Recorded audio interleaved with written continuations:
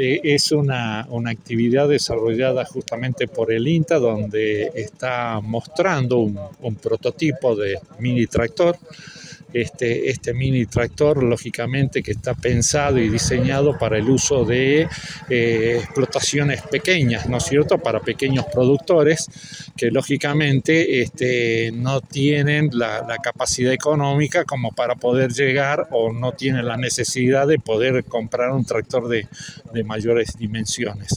Lo interesante de esta propuesta este, es que eh, sirve para labrar el suelo, para realizar los cultivos, el aporte y también se puede utilizar tranquilamente para lo que es este, la cosecha, cosecha por ejemplo de papas, cosecha de cebolla.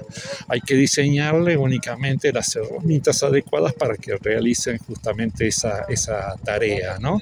Es decir, que es un eh, mini tractor que tiene una versatilidad bastante importante, ¿no? Y está en proceso de desarrollo. Por eso este, nuestros compañeros de, del INTA y específicamente del IPAF, que es quien este, tienen esta eh, este mini tractor lo están llevando a diferentes zonas, a diferentes sistemas este, productivos para poder eh, analizar la adaptación que tiene esta herramienta a cada uno de esos, de esos sistemas. ¿no?